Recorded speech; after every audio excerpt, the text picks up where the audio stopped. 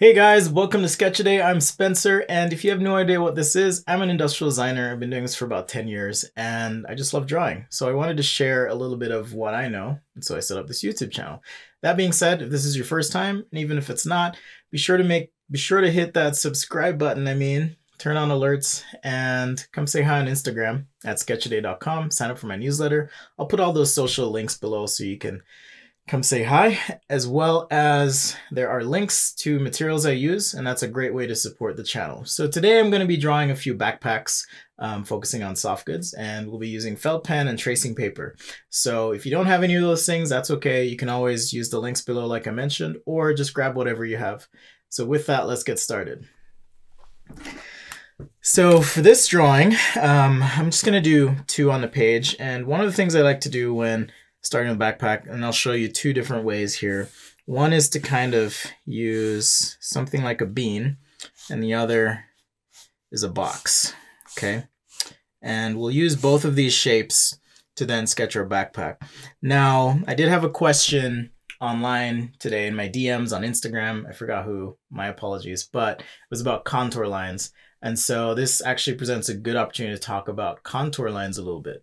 So contour lines are a quick way to establish some shape or form if you're sketching something really quickly. So for example, like this bag, we can add a cutout here on the front.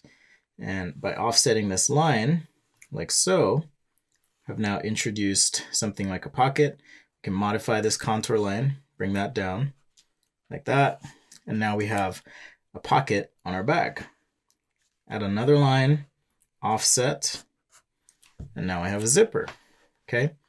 And for the straps, I like to think of them kind of like these ellipses that are slightly squished.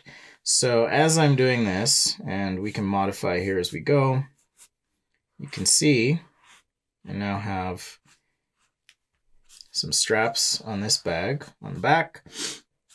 And for our flap, I'm going to do just a simple flap on the top that perhaps keeps the bag closed. And let's have this be some hardware. I don't have to sketch all the details because we're just capturing a quick idea.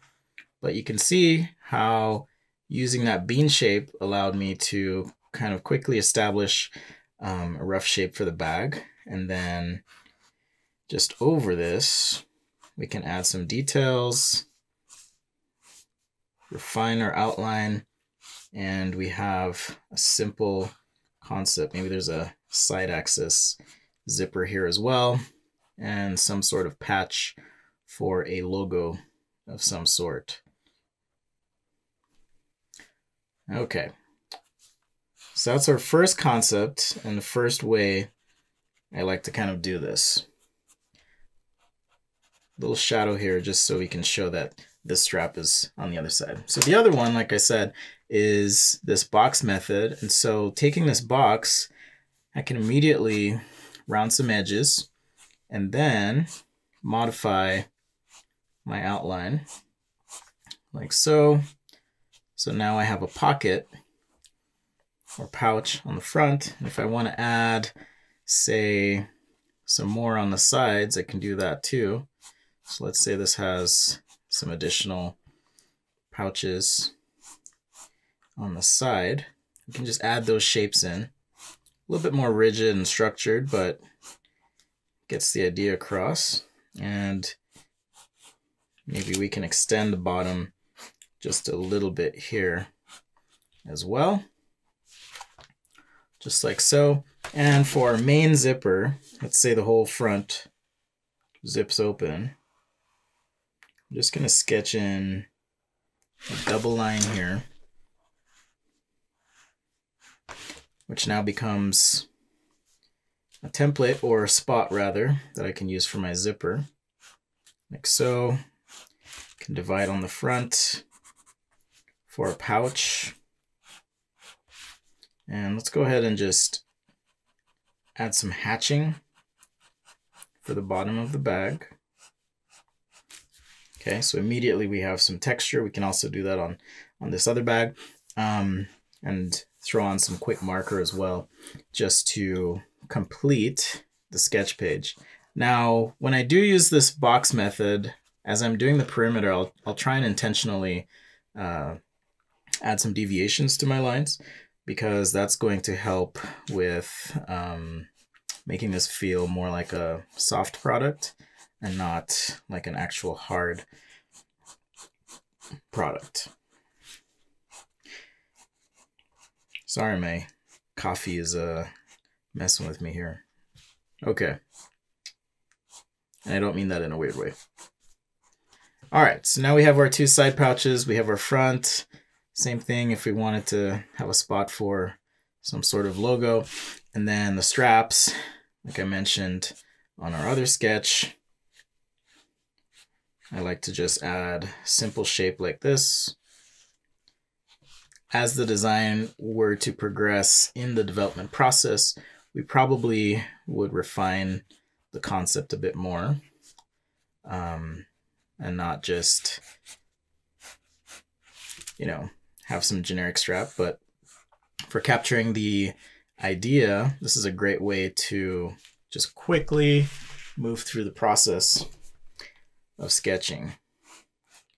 Okay, so we have two methods there.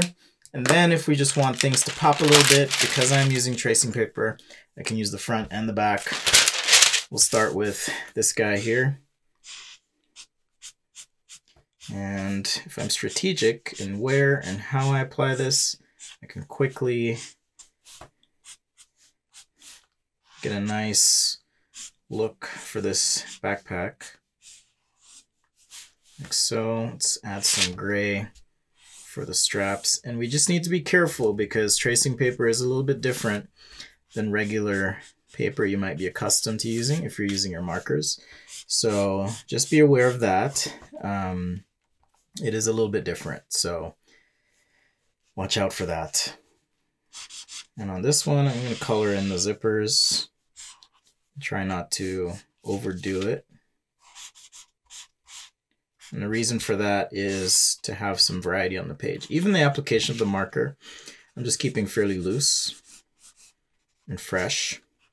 By loose and fresh, I mean not trying to overwhelm things on the page. Okay, so that's something that just comes with experience and that you'll learn over time. But we'll let this dry. Just a sec. Okay, now when you flip it over, it kind of has this interesting look. So on this side pouch, if I want to add some texture, can add some cross hatching with, with the marker, maybe a little stippling here and there, some shadowing where we need it.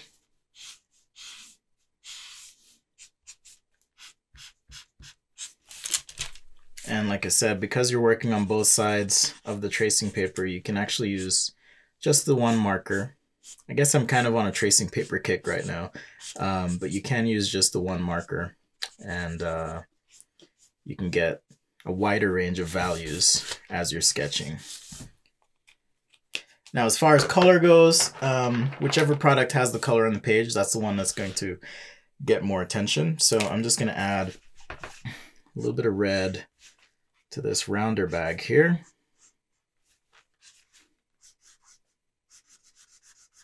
Just like so.